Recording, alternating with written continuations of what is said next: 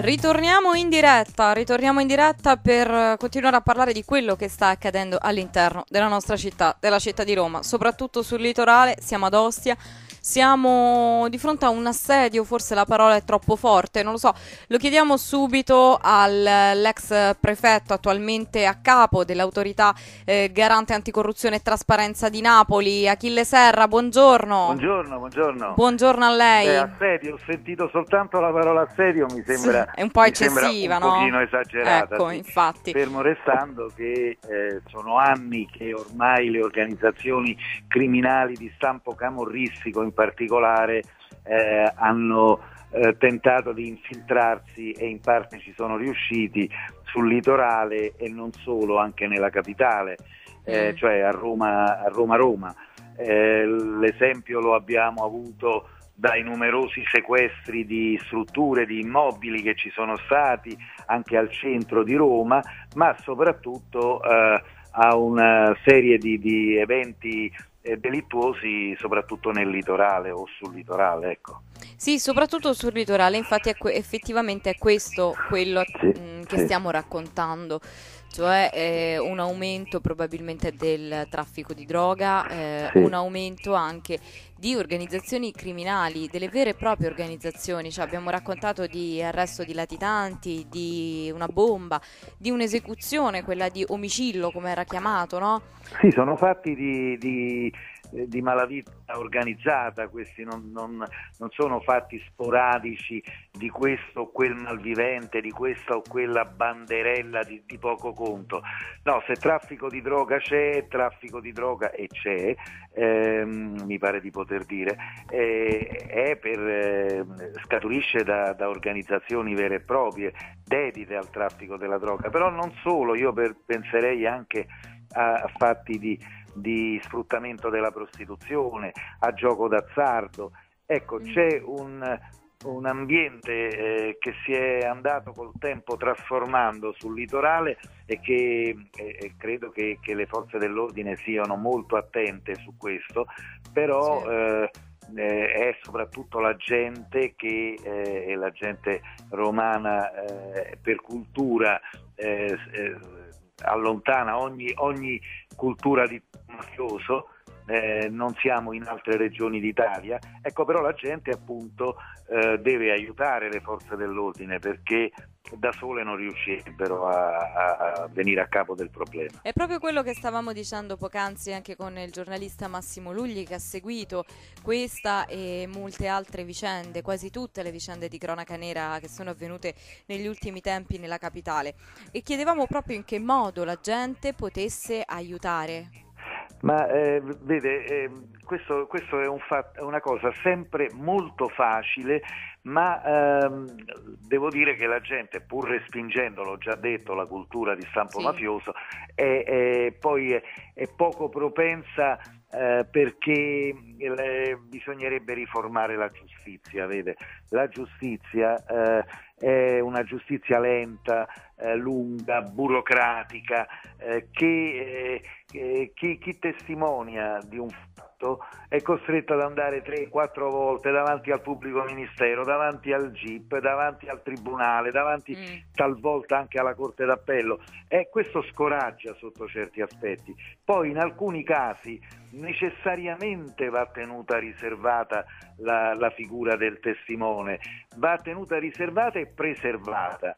E, e allora questo dà sicurezza alla gente perché la gente eh, si accorge facilmente se c'è nello stabile persona eh, diversa dal, dalla società civile e quindi è più dedita a, a traffici vari. Eh, lo si vede dal via vai del, de- di malviventi o dal via vai di gente che si va ad accaparrare la bustina di droga, l'ambiente che, che si frequenta. Ecco, la gente attenta, eh, con le antenne alzate, può essere veramente un punto di riferimento importantissimo per le forze dell'ordine tradizionale e non solo, ma anche la polizia municipale Sì. eh, eh, deve necessariamente fare quel salto di qualità che io auspicavo da prefetto e che ancora oggi auspico. La polizia municipale può essere un elemento straordinario, di straordinaria importanza. Basta con il vigile urbano visto solo in funzione della contravvenzione per divieto di sosta o perché ai comuni fa comodo intascare, intascare eh, soldi dalle, dal, dall'eccesso certo, di velocità. Certo. No, il vigile urbano può e deve essere un punto di riferimento anch'esso per le forze dell'ordine tradizionale. Ecco, ci vuole una mobilitazione di, generalizzata, una mobilitazione che deve coinvolgere anche i, i, le guardie giurate e tutte devono sentirsi parte di questo problema, perché solo così si riesce a frenare un'avanzata che non illudiamoci, non solo c'è, ma che proseguirà nel tempo. Vede collocare la Camorra a Napoli, la Sicilia eh, in Sicilia la, la mafia, in Calabria l'andrangheta, è ormai un errore di straordinaria grossolanità. Sì. Lì sono le regioni, da lì sono le regioni da cui parte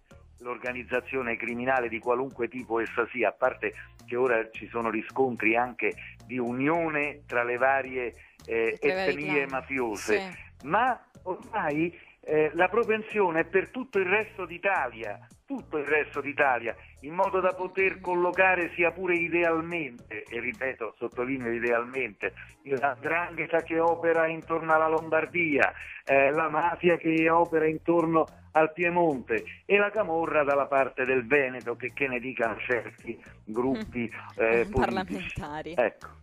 Ecco, eh, senatore, in tutta questa lotta diciamo, alla mafia, alle, alla criminalità sì. organizzata che si sta facendo anche con il pugno duro in tutta Italia, quanto influirà la crisi economica?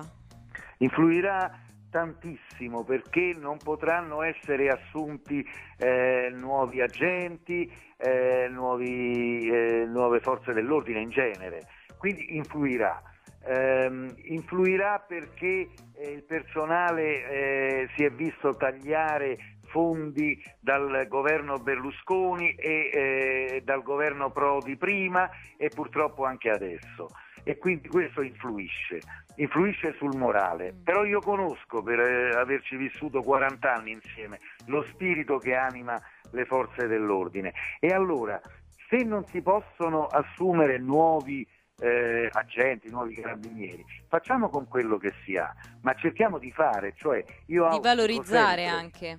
Io, prego? Di valorizzare anche. Di valorizzare questo lo do per scontato, ma gli uomini non hanno bisogno di essere valorizzati, eh, si dedicano anima e corpo nonostante i tagli e quant'altro, ma sono pochi.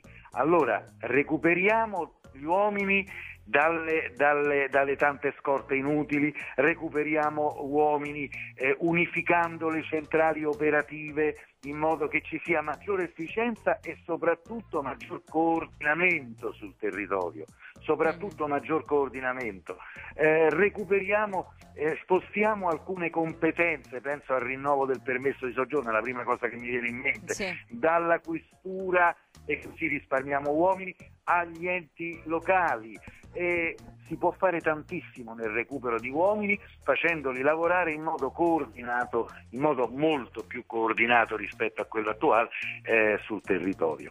Eh, sì. Però sotto questo aspetto io sto facendo dei sogni, perché mm. sono anni che dico che bisogna unificare le centrali operative e farne una sola, sono anni che cerco di di far recuperare uomini là dove è possibile e, e purtroppo, e purtroppo, purtroppo, è un appello che da, da anni io, cade nel io sono vuoto. Sempre ottimista, sono sempre ottimista. Ora è un momento molto difficile per prendere queste decisioni eh, riformatrici è molto difficile per il problema economico perché non si sa eh, se quanto si andrà a votare, eh, non si sa con quale legge elettorale, quindi ci sono problemi gravissimi sul terreno e sul, e sul tavolo. Allora, superata questa fase, e io mi auguro che, che, questo si possa fare in uno stretto giro di tempo, allora bisognerà dedicarsi a questo tema della sicurezza e parallelamente, dico parallelamente, se no tutto quello che ho detto non serve a niente, a una riforma globale della giustizia che veda l'immediatezza del processo. Se vengo preso stasera con le mani nel sacco io devo essere immediatamente sì, processato. processato e la certezza della pena di cui tutti si lavano, se mi consente l'espressione, la bocca, si lavano la bocca, ma poi poco si fa. se è vero come è vero che oggi nelle carceri italiane ci sono 70.000 eh, detenuti, laddove le carceri italiane certo. ne possono contenere 43.500, non vorrei sbagliare di qualche, di qualche unità. Beh, è stato chiarissimo, insomma, è necessario sicuramente un'azione, un'azione concreta, un'azione che eh, il momento, la congiuntura economica, il momento politico non probabilmente consente. non consentirà eh, la realizzazione in tempi brevi, ma ci auguriamo insomma che vengano non solo prese in considerazione ma anche portate avanti Sono queste ottimista. idee. Sono Bene, ottimista. abbiamo bisogno di ottimismo in questo periodo, molto. Grazie. Senatore, grazie. Grazie a voi di nuovo. Grazie a lei, un buon lavoro al senatore Achille Serra, senatore dell'UDC, ma come abbiamo raccontato è stato eh, prefetto di Roma e attualmente a capo dell'autorità garante eh, di Napoli.